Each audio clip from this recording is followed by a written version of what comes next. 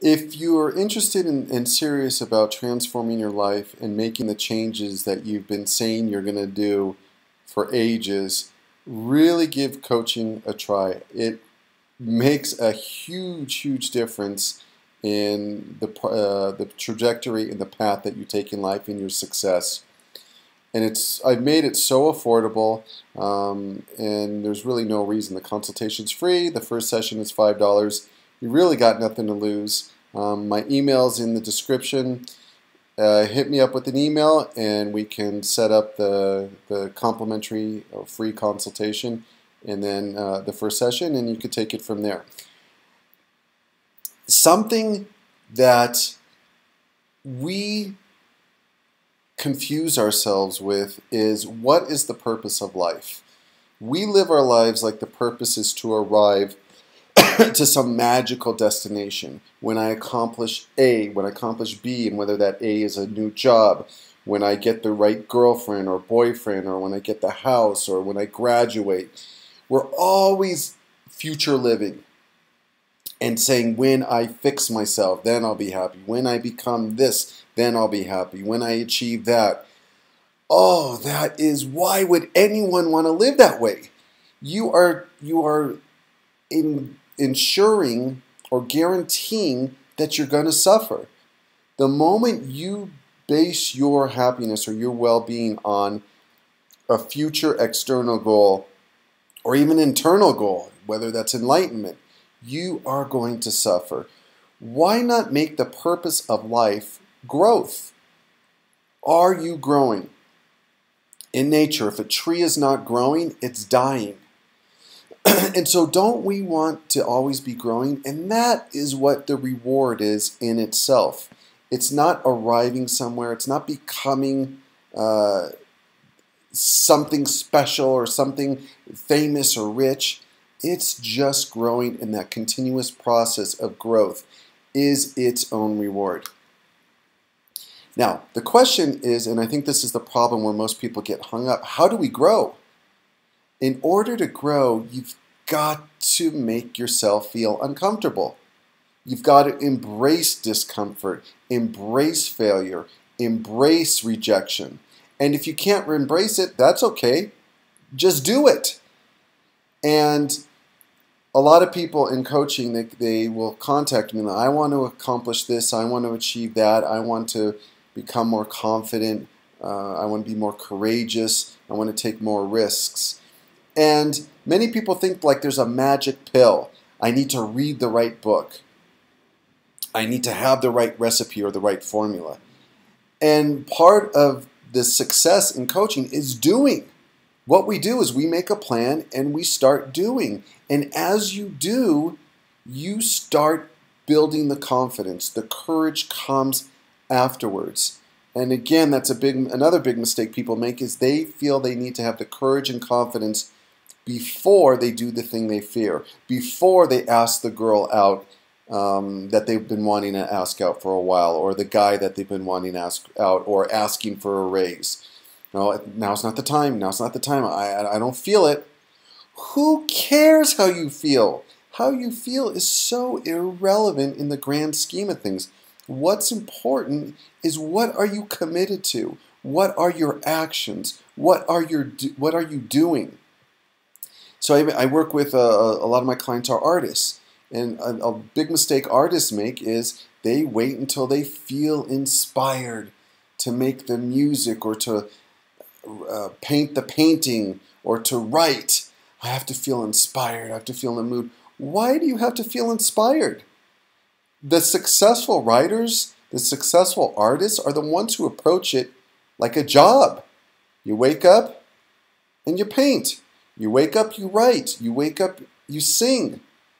You do your craft. And in the doing of your craft, there's blood, sweat, and tears. It's not all fun, joy, and feel good. Why do we have to feel good?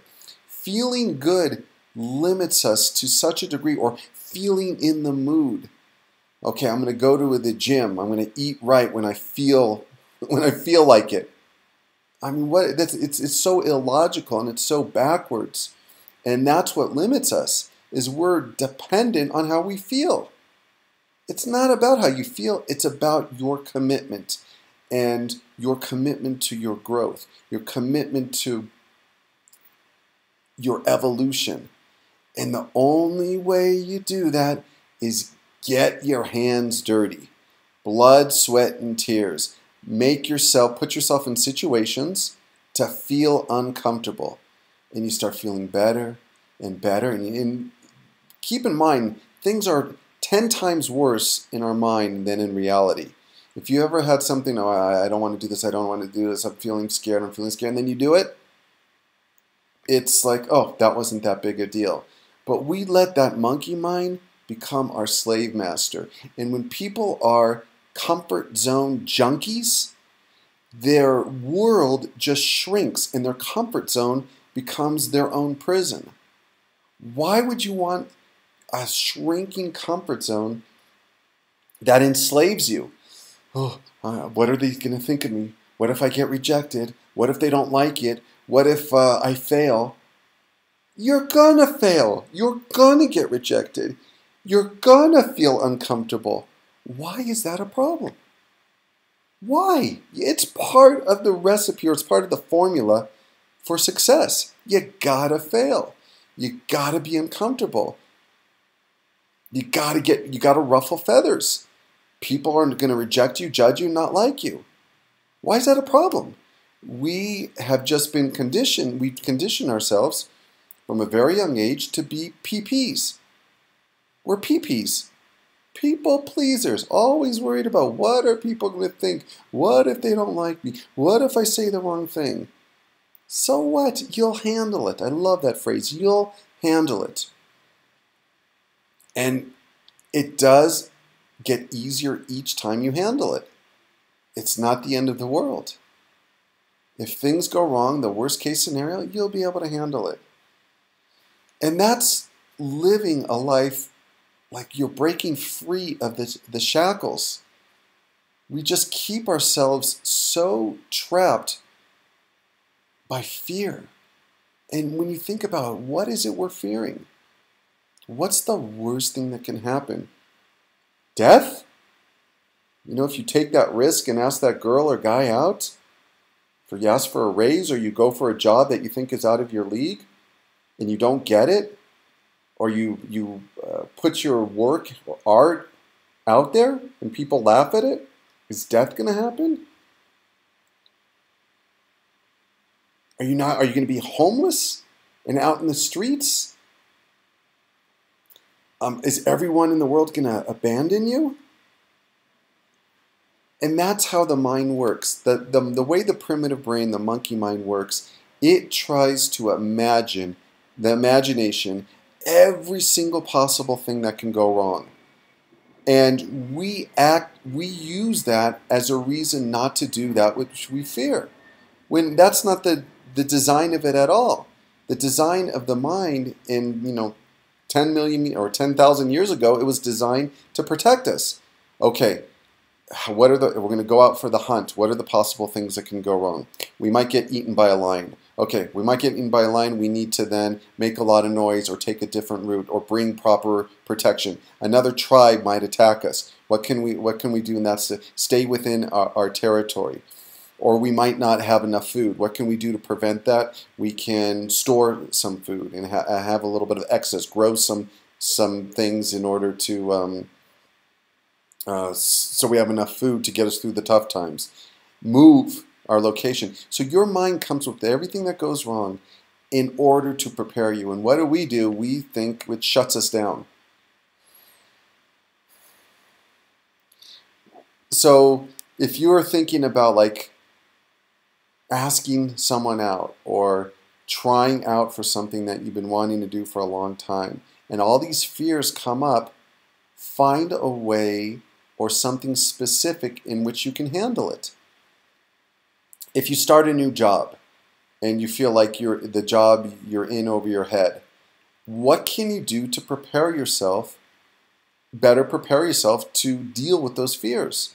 Okay, I can read books to better prepare myself for the job. I can ask other people. I can practice. There's so many things, but take those fears and turn them around, flip them, and you use them to your advantage instead of allowing them to, sh to shut you down. So every time you have a fear, the monkey mind, the primitive brain, comes up with the fear and says, uh, "You suck." You know, no, she's not going to want to go out with you. And then ask it and say something specific. Get it to, to instead of that black or white negative statement, ask it for something specific. So, monkey, what can I do to improve my odds to go out with, uh, in order for her to say yes? You telling me I suck and I'm a loser and she's not going to go out with me is not is not doing either of us good. What is something specific? And then it might say, you could dress nicer, you could shave, you could um, go to the start going to the gym so you feel um, some more confidence. Um, role play with somebody else on what you're going to say to her. There's all these things that you can do, but just telling us that we suck and have all these fears and that we're going to fail or things are going to be uncomfortable and then we go back in our shells is really it's suffocating and stagnating.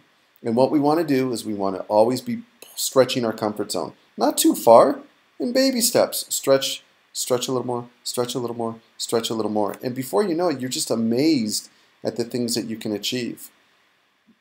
I guess the theme of this video is being a comfort zone junkie just makes you a prisoner. And it's such a suffocating, limiting, regretful way to live. Okay? Um, again, if you do want to work on these things and have someone to support you and, and encourage you and hold you accountable and make consistent progress uh, with coaching, uh, hit me up. Uh, my email address up in the comment or up in the description. And until next time, have a great week. Bye bye.